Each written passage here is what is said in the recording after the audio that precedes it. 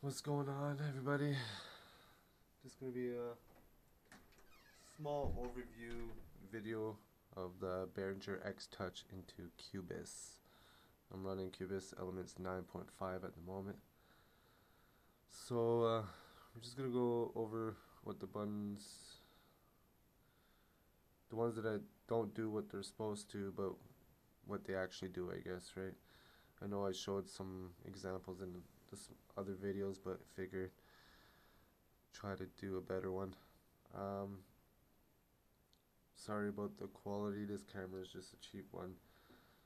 Uh, well, let's just get into it, I guess, right? So, your zoom and all that does work. Same thing with moving up and down and your tracks. Sorry, I don't have the screen, but can only do one at a time. Uh, once I get better cameras, I'll take more time editing and showing, doing the screen vid, uh, screen capture software and, and stuff like that.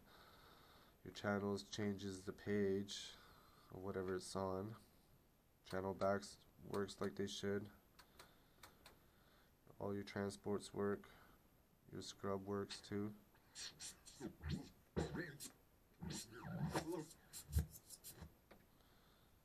But yeah.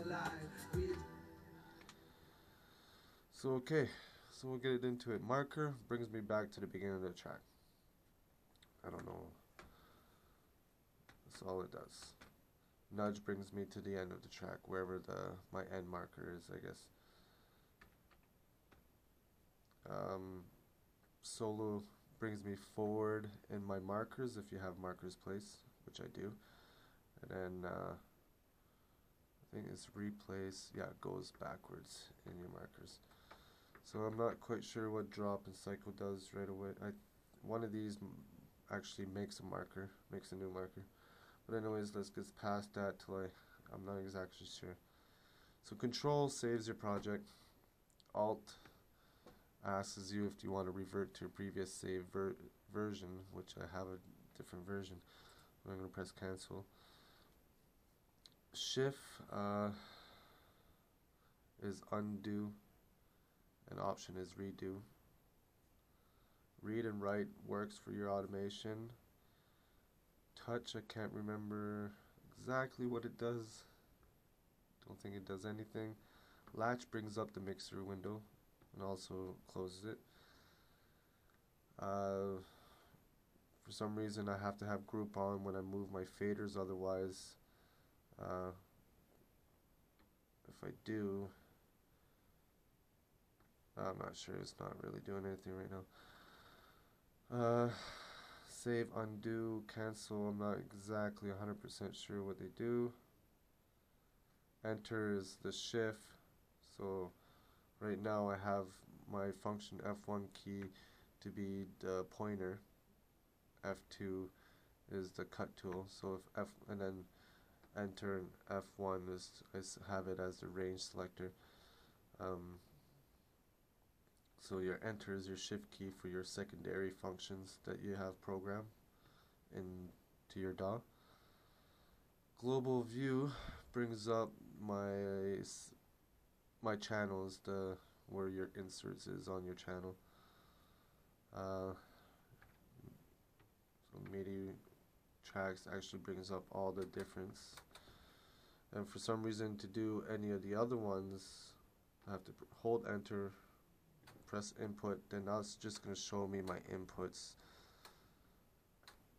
And then if I press even if it, input again, without the enter brings me back to the, the meet, all the channels so real and then audio tracks I'm not sure what it does because it doesn't do any doesn't show anything up. The audio instruments shows me my effects reverb delay limiter and a second limiter. Auxiliary is my VST instruments for some reason. Uh, buses same thing nothing. Outputs will show me my outputs stereo mono mono stereo. Uh, and uh, user doesn't seem to do anything like I said as soon as I press any of them without the enter it brings me to all of them. Now display does work. Also beats and time that works. Tracks and shows you the routing outputs pan your pans. EQ is the EQ on the channel is not the plugin. And then sends is uh, uh, your FX sends. You have four pages there so because it's selected on bells. That's why it's showing up there though. But okay so plugins. Uh, there's no effects on that one so let's go.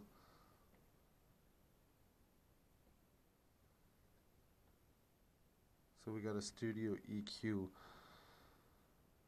on the hook. And then uh, I've been having problems for it to show up on the screen. Like so what I do is I change it and go back and then it shows up on the screen. It takes a few seconds which is a little bit of a pain in the ass. I wish you could just press the button and then uh, it shows up on the screen. But that's going to be uh, the way Cubase has their Mackie protocol settings, right? So hopefully they we can get that working someday in the future with some a firmware update or something. Because it'd be nice to have everything work like it's supposed to. It, for the majority it does work. There's uh, a few buttons here and there but but it would have been really nice to have the marker actually mark um, otherwise because now I have it set in my function keys. So I'm gonna show the screen now because that's basically all I can really show about the Behringer X Touch at the moment. So let's go and show the screen and then I'm gonna show the settings. Let's see here. Okay I don't know how to zoom on this. So don't know how this is going to turn out. I'm sorry, guys. maybe I'll take the camera off the thing. Anyways, so uh, mine says studio. I know some of you guys, it says device for some reason. Mine says studio. I don't know what's the reason. Maybe that's the new update. Uh, okay, so studio setup. First thing you're going to want to do is go to your MIDI, MIDI port setup and then over here X touch the input. It comes automatically with in all MIDI uh, with active but you don't want that active. Because as soon as you have this active and if you have a VST instrument on that channel I think you guys can hear that. I'm just touching the fader and it's actually playing the note and it doesn't matter you can press any button it's gonna see? And so you want to make sure that's unchecked. Okay. Okay. So now yeah now that I press it it doesn't do it and make any noise. So the other thing studio setup remote control. If you don't have Mackie control obviously you want to press X and then choose Mackie control. And make sure your Behringer X touch is in Mackie control not UE and then obviously X touches your input X touches your output. And these are the your function keys. And then the user A and user B is actually foot switch A1 and then foot switch 2 which I don't have connected at the moment. But I just figured that out yesterday. Those are actually the foot switches because you do have two foot switches as uh, for that you can uh, set up as you wish and then you have one more foot uh, pedal switch for sustain. So you do have three inputs for foot switches. So yeah that's I think that's gonna be it for the video. I really hope this was clear enough for you guys. And uh, ah see that's uh, now I distorted that one in here let's go over here because also when you have that MIDI all input in when you touch the fader it changes the pitch So now, that's what it kind of supposed to sound like. Yeah, right there. So that was a pain in the ass when I first got the X Touch, and then I'm like, oh, I'm not even going to be able to use it when I have a VST instrument on. And uh, that was just a small little fix. Like I said, go to your studio, studio or devices, uh, in whichever case that you guys are in a MIDI port setup, and then unclick the in all MIDI for your X Touch. Okay, I hope that was clear. Hope you guys enjoyed the video. Please subscribe, please comment, and uh, give it a thumbs up.